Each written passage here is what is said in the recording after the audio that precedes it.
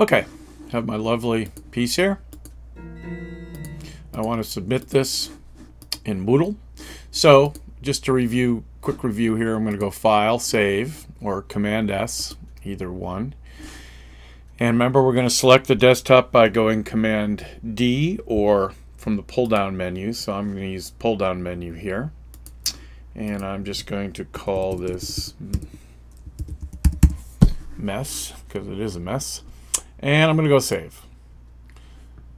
So it will now save my logic. Remember we selected folder too, which I didn't mention, but um, so actually just to review quickly.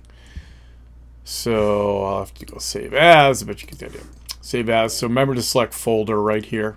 I'm not going to do it, but not package folder. I think the default might be folder, but I'm not certain.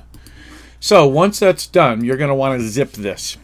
Why do you want to zip files when you send them over the internet? Because weird and strange things happen.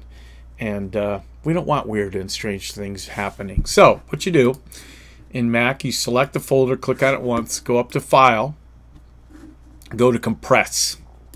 And it will compress and make a duplicate. So you can actually delete the original. And when you open this up, the original will pop back up. There it is again. And it'll just do it multiple times. This file right here is the one that you are going to post onto Moodle.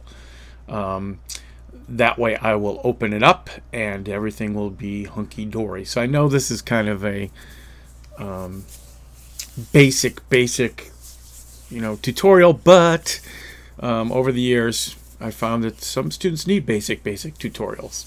So that's how you save and zip a file.